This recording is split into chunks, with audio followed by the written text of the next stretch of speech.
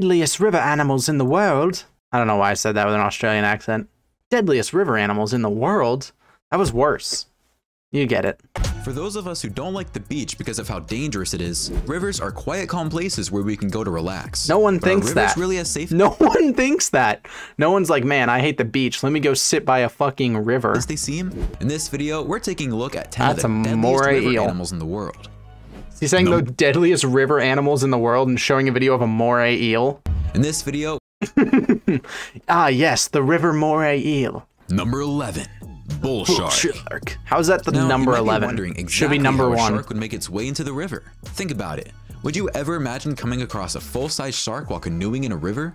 No. But hey, stranger yes. things have happened. Wait, no. Bull sharks can attack animals and humans of I just about any size because of their strength.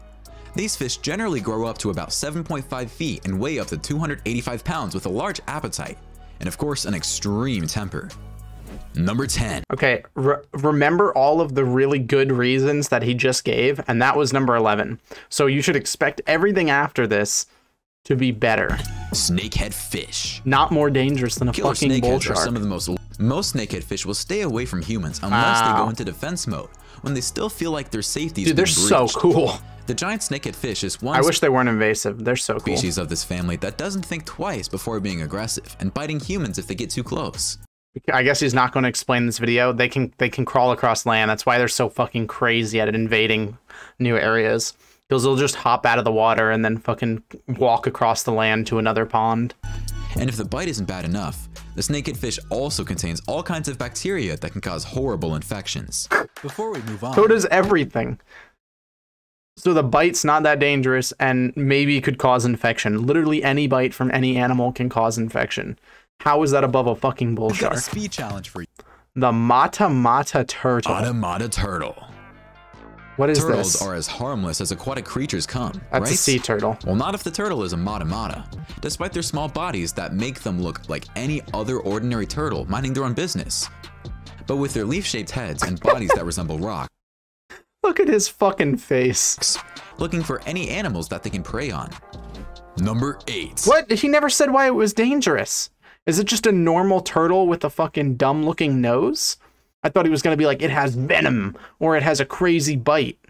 When diving bell spiders are minding their own business, Yeah, this is fucked if they're up. ever provoked, just know that you're in for a really painful time. I used to be terrified of spiders, and then I took an invertebrate zoology class and had to work with spiders a lot. And I like slowly became more and more familiar with spiders and like stopped seeing them as dangerous and like become less afraid. But this, this is fucked up.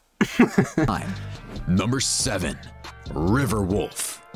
Okay, it's just also an known otter. as the Southern River Otter, river wolves are found in the Amazon River, where people run away as soon as they decide to leave water and jump on the land. Look at the way this dude's running. Found in the Amazon River, ah, where I love people the run stock away footage. as soon as they.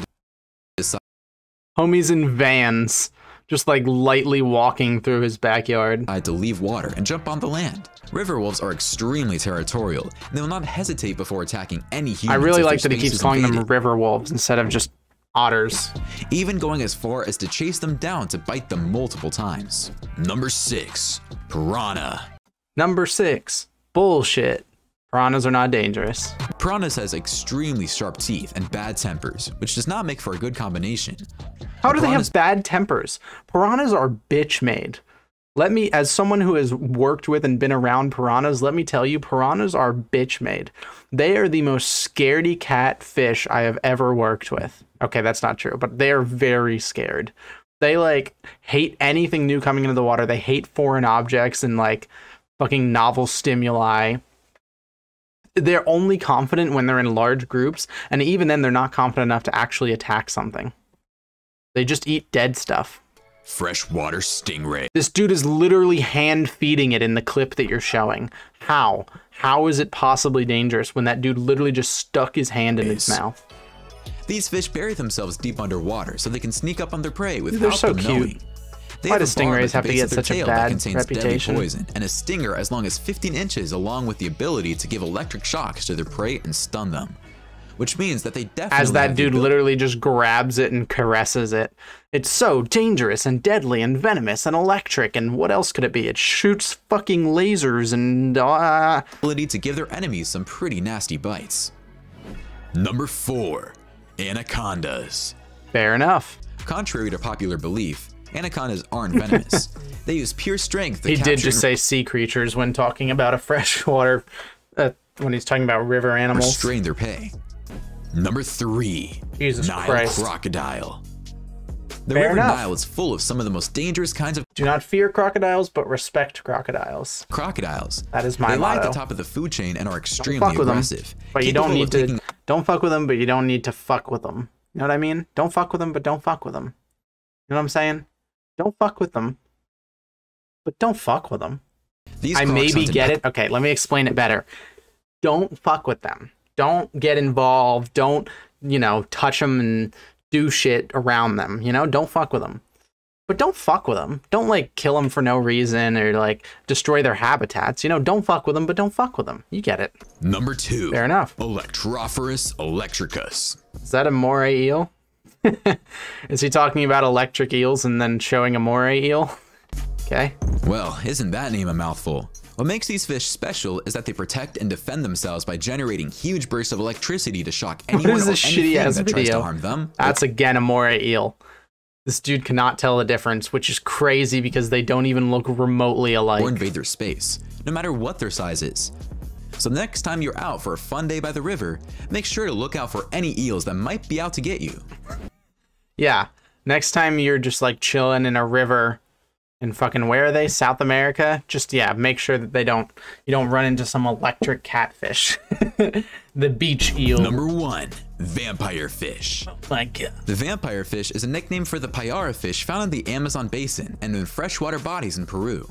Yeah, fuck These that. fish hold the reputation for being even deadlier than the piranhas because of their extremely that. sharp jaws that they use to impale their prey. These fish grow up to 4 feet in size and are capable of preying on creatures much larger than their own selves. Their teeth alone can grow up to be 6 inches. Jesus Christ, get me off of it. Yeah, the Payara does have those cool ass holes that the teeth go into. But yeah, fair enough on the Payara.